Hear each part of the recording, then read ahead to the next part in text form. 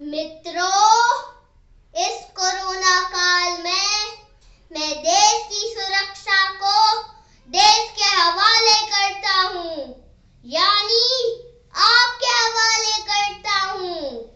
मुझे अपने देश के लोगों पर पूरा भरोसा है कि जिस तरह से उन्होंने विदेशियों के हाथ से देश को मुक्त किया था और गणतंत्र बनाया उसी तरह हमने सूझबूझ के दम पर इस कोरोना से जीत पाकर देश को कोरोना मुक्त बनाएँगे। मगर साथियों, मैं यह अकेला नहीं कर पाऊँगा।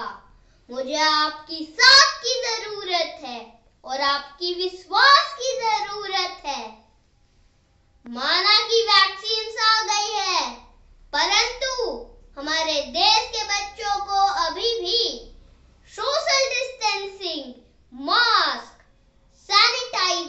और ग्लव्स को अपनी दिनचर्या में शामिल रखना है। तो आइए मिलते हैं डीपीएस के बच्चों से, जो गणतंत्र दिवस के अवसर पर आपसे कुछ कहना चाहते हैं।